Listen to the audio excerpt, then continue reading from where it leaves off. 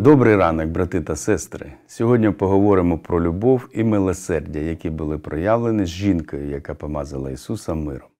Марка, 14 розділ, 6 та 7 вірші. А Ісус сказав: оближте її, навіщо завдаєте їй болю?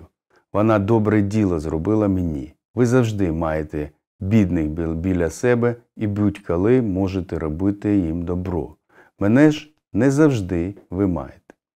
Прикажений фарисей Сімон запросив Ісуса до свого дому, але ставився до нього дуже обережно. Води помити ноги не дав, при зустрічі не поцілував, голови олією не помазав, про зцілення від прокази не попросив. Увірвавшись в дім їхню мирну беседу, прирвалась жінка з алебастровою посудою мирою і, розбивши посудину, розлила йому на голову, сльозами облила ноги, волоссями голови своєї відтерла і цілувала йому ноги.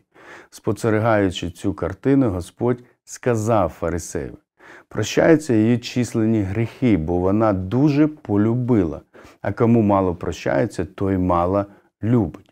А про жінку сказав: де тільки буде проповідуватися Євангелія у всьому світі, те, що вона зробила, буде сказано в її пам'ять.